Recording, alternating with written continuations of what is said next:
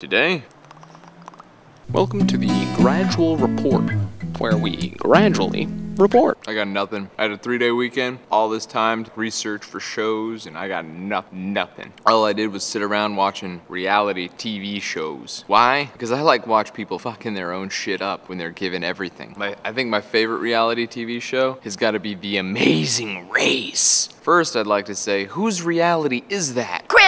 Barbara, get in the canoe. We've got to paddle out to that buoy and grab a yellow ticket. Barbara, is what we have to do. Having traveled the entire circumference of the globe myself, personally, these guys make it a lot harder on themselves than it needs to be. All the stress that's induced, it's it's just amazing. I hate it when you talk to me that way, Claire. It's just not fair. Fair's got nothing to do with it. You dropped the beach ball when, when you had the spoon egg in your mouth. It was really hard. I was on a tightrope walking across the Grand Canyon, okay? Not okay. Your mistake cost us 15 whole minutes. Now we won't get on the last helicopter out of Beijing, China.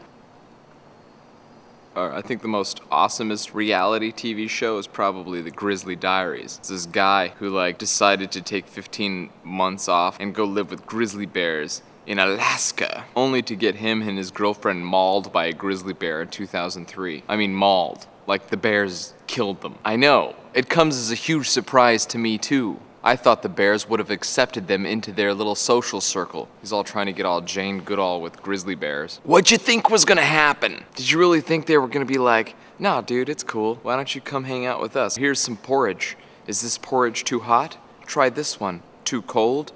Ah, the one in the middle's just right, you say. But then I opened the paper this morning in search of new material, and I realized that quite possibly the greatest reality show of all has just taken center stage. McCain's chick vice president has a daughter that's 17. It's Prego. Prego. Like an Eggo. She's got Juno for a daughter. Personally, I thought Juno was really fucking cool. I mean, you know, except for that whole fat belly thing. I wonder how that's gonna play itself out. Holy balsanya. I can just see McCain now sitting at his desk going,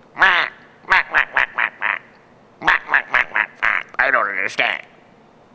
What's there to understand? Chicks get pregnant if you stick your dick in them. Or did they not teach that And I'm a Rich White Man Upper Class? Final summation whether you're driving a canoe across some icy plain, trying to make out with grizzly bears, or in the running to be the next president of the United States, reality's a bitch. I'll see you tasty little cookie crisps tomorrow, where we'll discuss eyeballs. It's those things in your head.